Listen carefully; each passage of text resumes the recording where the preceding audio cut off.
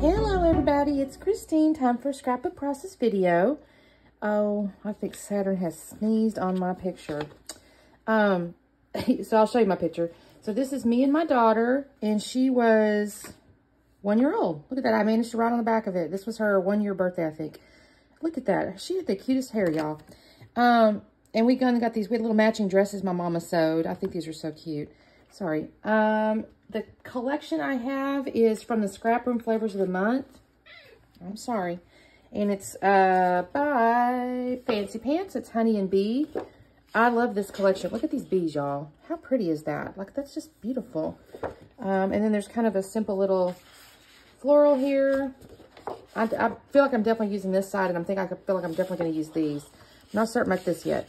And there's Temple White pieces of cardstock and some little ephemeras. Now, the sketch that I have, I just went looking, and I have on this um, Scrap and Sketch monthly challenge or something like that. It's a Facebook group. And this is July 2023 crop challenge number three. And it's based on a throwback sketch from 2018. It's real nice and simple. So I'm going to work with this is my idea here. That's why I'm not sure about the third pattern because it's only showing two, but that doesn't mean I can't add a little something, something, right? So that's what I'm going to do. So let me do a little bit of trimming here. I'm definitely, I think my plan is to use like this. So maybe I will go ahead and mat this like this to give a little color on the backside. And then I definitely want to use these bees, y'all. And then maybe I'll double mat the, and maybe I'll mat the photo on the yellow as well. And I think that might be where I'm going. And then of course, it's got all these cute little things here. So I can use those. All right, let me do some trimming. I'll be right back on. Okay, gang, so what I've done at this point is I have trimmed down that hexagon paper by a half inch on both sides.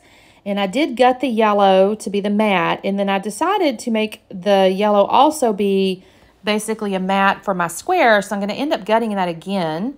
And which is funny because I didn't, I wasn't even sure I was going to use that pattern. I ended up using it three times. So that's kind of funny to me.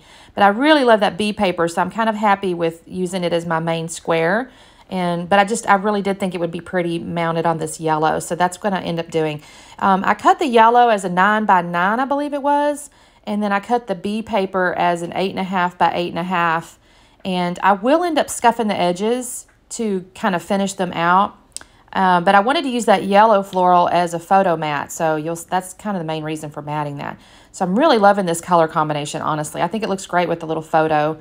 And um, I just I just thought it was really pretty. So I'll tell you about the photo real quickly. So I, I may have mentioned this before. In fact, I'm pretty sure I have. I could not tell you what video or anything like that. But when my daughter was born, I decided to get a professional photo taken of her every month for her first year.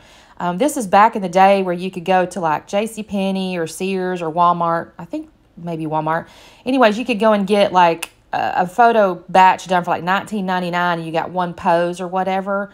Um, now they gave you like a thousand pictures of it, the same pose. I don't know why you'd ever need that many. I guess the whole idea was you mail them off to people or whatever. But anyways, I tended I did that every month the the hardest part for me was always showing restraint and not buying all the all the poses because uh, of course that was their job right was to sell you all the poses but this happened to be the one where she turned one and so what I'm going to end up doing here too, by the way, is I, I decided to mount that on white cardstock. So I had to cut away because I had to run and go get it. I didn't want to cut into that full 12 by 12 sheets of white cardstock I had with the kit there. So I ran off and got me a piece and it just happened to be the exact right width. So that was kind of nice. Um, and then I'm going to end up putting it on this yellow here. And I really like this because I kind of have this the white, you know, hexagon is now kind of mimicked with this white photo mat, and I really kind of loved how that looked. And I'll end up scuffing the edges of that too. And I'm sorry, you guys, this morning Saturn was all in the middle of stuff. I had actually gotten a pair of shoes yesterday, and I had the box sitting on the ground because I had just put the new shoes on. And sure enough, she climbed right up in it, and she parked herself there for quite a little while, actually. I shared it on my Instagram story, I was, and I think I titled it, uh, If I Fits, I Sits. You know, she's kind of like that. So I've got all my, my big maps and stuff done. I'll also tell you guys, I showed you the sketch in the beginning and it was on a Facebook group and everything. Well, my iPad's a little booger.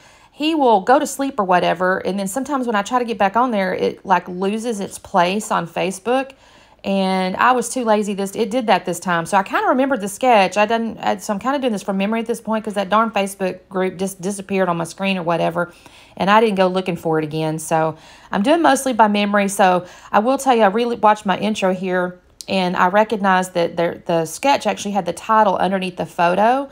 So my title's in a little bit different spot, but again, it was mostly because I was trying to do it from memory and I, I couldn't remember exactly where the title was. So, plus I have this little bitty card that I'm going to end up using as the title. Um, and so I'm not sad about it. It's kind of down there in that lower bottom cluster. It did have a little tabby, you know, the, underneath the square. So that's kind of what I use that floral for. And that's what I decided to use that title. And, and so I'm just going to build out clusters basically in the bottom, the lower left of the photo, and the upper left of the little, of the, of the little, the square. And at this point, what I'm doing now is just, uh, I've kind of dry fit them and I'm just coming back on here with foam and adding dimension. So I'm putting dimension, I put dimension up underneath the B, BU, and then I'm doing dimension the little bee that's down there, which I just thought was too cute. And then I did that bow up there. Um, and then I'm going to also end up doing that, that, whatever that is, some kind of basket or purse or something. And then I'm going to come in with these puffy uh, stickers. I do use the two florals right here. I wasn't sure at first, but I'll have to add foam here because that puffy floral and stuff is taking up, you know, a little bit of lever. Um, it raises the ephemera piece, so I do add a little bit of foam here as well. But I end up using every piece of ephemera and every puffy sticker and all that's fine and good, except I do still have some scraps. And I thought to myself, oh, I'll throw me a quick layout together over here. And then I go, well, Christine, you've used every darn piece of embellishment that came with the kit. So I'll have to get into my stash to embellish my uh, my little layout that I'm going to make with scraps. I haven't decided if I'm going to make a video about that or maybe I'll make a short or something. I don't know because there's not much of it. It won't take too long to throw something together because anytime you're kind of down to the last – baby bits, I don't think um, layouts take that long. You don't have as much to choose. You know, you don't have much to think about. So I'm just finalizing my little puffy stickers here. I'll end up putting the floral there. Uh, the little teacup goes in the upper left. And I'm trying to think what else there was. I think there's another little floral, and he gets tucked in there. And then what I'm going to end up doing after all this is that that's basically the layout, except I do decide, you know what, I need to add a little mixed media. so I'm going to run over and get some Lindy's Stamp Gang. I think it's called oh shoot, I showed the I showed the name right there. It's like a, it's a gold. Um, shoot, I had the name in my head a minute ago, but it's a little gold spark, uh, gold thing. I tried to use my little wand, and he wasn't sprinkling like I wanted, so I pulled out my paintbrush, and I'm just going to sprinkle kind of around the clusters where they are, and then I will end up taking a little paper towel and kind of blotting. Uh, the t- I'm too impatient, y'all. I don't let it ever dry. I probably should, but I don't. And I need to do that trick where you roll the paper towel, but I haven't pulled that out either. I tell myself all the time I need to do things, then I just never get to it. So that's all I'm going to do the layout, y'all. I think this turned out really pretty. I kind of let the bees be the embellishments on that left-hand side over there. I probably could have journaled or something, but honestly, I didn't want to. I think it looks really pretty. Um, don't forget to check out my Instagram at Scrapping Harden. Of course, don't forget to like and subscribe and all that. Do the little bell so you get notified. I try to do videos Tuesday, Thursday, and then I have several hops. So usually Sundays I have a video, sometimes Mondays, sometimes Saturdays. So, but definitely usually Tuesdays and Thursdays. So anyway, thanks so much for watching. I really appreciate it. And we will see you next time. Bye-bye.